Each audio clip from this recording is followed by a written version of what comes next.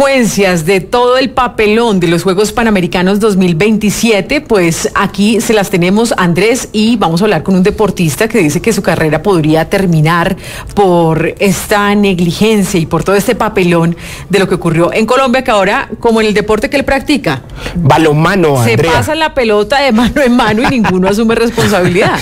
Efectivamente, Andrea, pues eh, por lo menos a corto plazo podría eh, verse truncado ese sueño que tiene nuestro invitado el día de hoy, al momento de no poder eh, competir en una, pues, una competición, valga la redundancia, internacional, porque recordemos que este tipo de competencias internacionales les da una pantalla muy importante para ellos, para que puedan continuar con su carrera, para que puedan buscar equipos, para que de cierta manera los que andan en esos tipos de eventos viendo a los eh, talentos puedan eh, decir este muchacho esta muchacha es buena para continuar con esa carrera. Claro, y para las personas que han estado muy pendientes de la W en la mañana o para quienes no conocieron el documento revelado en primicia, en exclusiva, aquí por nuestros compañeros Camila Sarmiento, Lucas Pombo, em, en la mañana en la W, aquí les tenemos esta prueba reina, mostremos este documento, de que el Ministerio del Deporte y particularmente la ministra tenía desde noviembre el dinero de los Juegos Panamericanos. Este documento publicado por Sigue la W pues muestra a Andrés como un acta del 7 de noviembre de 2023 muestra que el Ministerio del Deporte sí disponía del dinero necesario desde este mes, contradiciendo incluso las declaraciones de la propia ministra que decía que no, que no tenían flujo de caja. Pues en este documento que ustedes lo pueden ver ya, W Radio Colombia, conéctense para que lo puedan ver ustedes mismos. Está firmado por la misma ministra y establece que 8 millones de dólares requeridos para cumplir con los compromisos financieros debían ser transferidos en diciembre. Es el acta. Efectivamente, André, en la segunda página, en la siguiente, eh, ya casi en el último párrafo, pues se puede ver justamente lo que usted eh, ya está alertando. La ministra Astrid Viviana Rodríguez reitera que el ministerio tiene los 8 millones de dólares, los cuales deben ser girados en diciembre y propone al Comité Olímpico Colombiano como operador transitorio para poder girar los recursos. Es decir, la plata estaba los recursos estaban y pues justamente por esa, como dice usted, de aquí para allá y de allá para acá, eh, no se pudo ni se organizaron para pues justamente poder tener los Juegos Panamericanos en la ciudad de Barranquilla en el año 2027. Claro, y, el gobierno decía, ahí en ese documento, sigamos mostrándolo por favor, el gobierno asumiría el 60% y los gobiernos locales contribuirían el 40% y decía entonces en esta acta que sí era un compromiso, es que ahí ustedes lo pueden ver, está la firma de la propia ministra del Deporte, Astrid Viviana Rodríguez, y pues después la ministra dijo que no, que no tenían flujo de caja. Toda esta documentación está en nuestra página de internet wradio.com.co para que ustedes la puedan desmenuzar y puedan sacar sus propias conclusiones. Pero entonces, Andrés, salude de una vez a nuestro invitado, un deportista que pues se ve afectado, su carrera se ve seriamente afectada por esta negligencia y por este papelón de los Juegos Panamericanos. A esta hora saludamos a Jacobo Sandoval, él es jugador de balonmano, deportista de alto rendimiento. Jacobo, gracias por estar aquí en W. Y de una vez cuéntenos un poco sobre cómo tomó usted la noticia cuando se enteró de que los Juegos Panamericanos no se harían en Colombia. Buenas tardes. Hola, muy buenas tardes para todos. Eh, bueno, en primer lugar, eh, sí la noticia la tomé con bastante desilusión porque esta, esta decisión afecta a los procesos de los deportistas que han estado entrenando durante muchos años para poder llegar a una competencia internacional. Es más, nosotros como deportistas de balonmano ya teníamos el cupo para los Juegos Panamericanos y poder representar al país, que es el sueño de todo deportista. Sí, Jacobo, yo quiero preguntarle de qué manera puede afectar esta decisión que no se vayan a realizar los Juegos Panamericanos 2027 en Barranquilla, que no se vayan a realizar en Colombia. ¿Cómo impacta esto en su carrera profesional como deportista, como jugador de balonmano?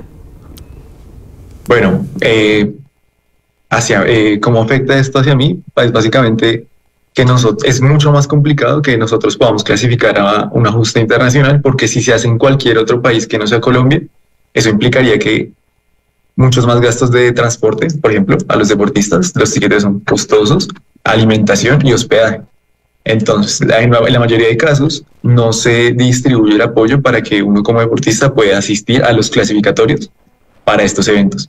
Y el tener la sede aquí en Colombia ya genera que nosotros tengamos el cupo y es simplemente para competencia, para vamos a competir y ya. Eh, Jacobo, justamente para entender ese proceso que se debe llevar para llegar a los Juegos Panamericanos, por lo menos en el caso de balonmano, ya usted nos anunciaba que si eran aquí en Colombia, pues el cupo estaba de cierta manera asegurado, pero ¿cuál es el proceso entonces que se debe llevar eh, para jugar estos, eh, estas justas internacionales? ¿Qué deberían hacer ustedes como deportistas para llegar a esos Juegos? Bueno, nosotros como deportistas debemos someternos a un proceso de clasificación que implicaría ir a un torneo o dos torneos y obtener ciertos resultados en esos torneos para así poder ganarnos un cupo a la competencia más importante de América que vendrían siendo los Juegos Panamericanos.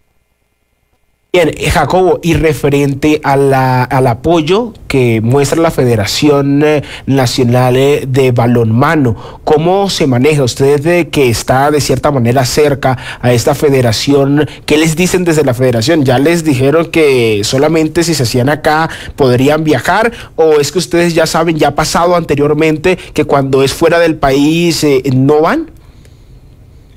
Bueno, la federación la verdad no nos había dicho nada, era un, tema más a largo plazo y ellos suelen eh, hablar estos temas ya un año o dos años después y con los directivos de las diferentes ligas. Y, las directivas eh, eh, son un año después, nos dice, bueno, cerca de un año antes más bien de estos Juegos Panamericanos. Eh, Jacobo, de manera que la liga de balonmano en Colombia, ¿cómo está referente a lo que usted nos decía, clasificatoria? ¿Hay posibilidades? ¿Cómo la ve usted? ¿Cómo analiza usted pues la liga de balonmano aquí en nuestro país? Bueno, es un tema complicado, es un tema muy complicado porque eh, en la mayoría de casos se apoyan más las bases, los deportes base, las categorías base, y para las categorías mayores, para los, sí, para las categorías mayores, es más complicado que si un apoyo para participar en un ajuste internacional. Ahí no, no sabría el por qué, pero es lo que pasa frente a su petición, eh, Jacobo, para eh, tanto para la Federación Nacional de Balonmano como para el gobierno, referente a los deportistas que así como ustedes eh, deben ahora comenzar a rasgar un poquito más fuerte para poder llegar a esas justas internacionales. ¿Cuál es la petición que usted le hace al gobierno nacional? Bueno, yo espero que últimamente estamos, hemos estado muy pendientes de la noticia y esperamos que en febrero puedan pactar para que nosotros, para que todos los deportes puedan participar en el, torneo más importante de América. Y es que hay, involucra más de 7.000 atletas y son 50 disciplinas. Entonces también es un gran avance para el deporte nacional porque yo les invito a que ustedes, por favor, eh, nombren más de más disciplinas. Es muy es muy complicado porque a mí también se me dificulta nombrar más de 20, por ejemplo, disciplinas. Y es una oportunidad también para que las personas, para que todo el público nacional pueda conocer diferentes deportes. Entonces sí le pido al gobierno nacional que por favor pueda solucionar este tema. Y es que lo vamos, lo vamos a seguir haciendo porque pues eso es muy importante y es muy preocupante que aquellas personas que estaban ya ilusionados e ilusionadas con ir a estos Juegos Panamericanos en el 2027, el día de hoy, estén eh, en vilo, Andrea, porque realmente no se sabe eh, qué, se hará y, demás. Jacobo, yo quisiera preguntarle también justamente por su, su equipo, es decir, sabemos que el balonmano es un juego de, de que se que se hace en equipo. ¿Ellos qué dicen? ¿También se desilusionaron? ¿Cuáles son los comentarios? Seguramente tendrán algún grupo en WhatsApp. ¿Cuáles son los comentarios? No, básicamente es desilusión completa, porque lo que te digo es un proceso largo, un proceso que involucra años de preparación, de mentalidad y estar dispuesto para darlo todo por el país. Y este proceso, cuando, cuando este proceso se ve truncado por decisiones que se nos salen de las manos, es una desilusión muy grande, la verdad. Jacobo, veíamos, por ejemplo, las declaraciones de, de nuestra medallista, Mariana Pajón y ella decía, venga, ya no es momento de, echar las culpas, pues más bien sentémonos a mirar si algo se puede hacer, pero parece que el tiempo pues ya nos muestra que hay muy pocas remotas posibilidades para que se pueda reversar esta decisión, este anuncio. ¿Usted qué le dice tanto a los alcaldes de Barranquilla, exalcalde y actual alcalde, qué le dice también a la ministra del Deporte? Porque lo decíamos, al igual que en su deporte, ellos están tirándose la pelota de un lado a otro, pero no asumen una responsabilidad. incluso también al gobierno anterior, al gobierno Duque. ¿Qué le dice usted a, los mandatarios? Bueno, yo apoyo totalmente la opinión de Mariana Pajón. Creo que es totalmente acertada lo que ella dice y yo les digo que siempre, siempre hay que creer que todo es posible.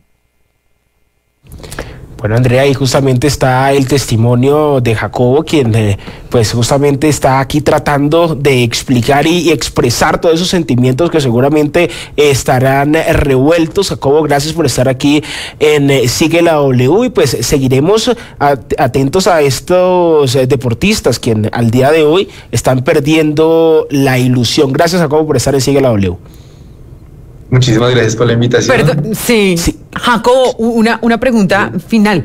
Mm, usted dice que incluso su, su carrera se vería truncada. ¿Es que esto es un impacto más allá de, de una conmemoración, de algo importante? Bueno, ya hablamos de las consecuencias, del comercio, de la deuda, de todo lo que implica. La Contraloría también va a estar pendiente, pero su carrera particularmente sí se ve muy afectada y podría incluso llegar a terminar, porque es que estamos hablando que los años de un deportista, pues cada año cuenta, cada mes cuenta, porque es un entrenamiento especial, son madrugadas, son acondicionamientos de, de su cuerpo, de su equipo, y todo ese trabajo, pues no es menor cuando se cambia un plan con sus entrenadores. Esto podría llegar a ser así, se podría ver afectada o incluso truncar su carrera. Sí, bueno, más que todo no es que se termine por completo la carrera, pero sí es la pérdida de una oportunidad gigante que puede que se dé una vez en la vida, ya que los juegos son de ciertas categorías son cada cierto tiempo determinado, lo cual perjudicaría mucho la carrera de las personas que estamos luchando todos los días para poder conseguir un cupo en selección y poder lograr representar al país de la mejor manera. Entonces sí es un obstáculo muy grande en la carrera de cualquiera. Bueno, Andrea, ahí está justamente el testimonio. Seguiremos atentos y intentando también encontrar a otras, a otros deportistas de diferentes eh, categorías, de diferentes deportes para, para ver cómo están los ánimos en diferentes sectores del deporte frente a esta cancelación, por lo menos por ahora, de los Juegos Panamericanos 2027.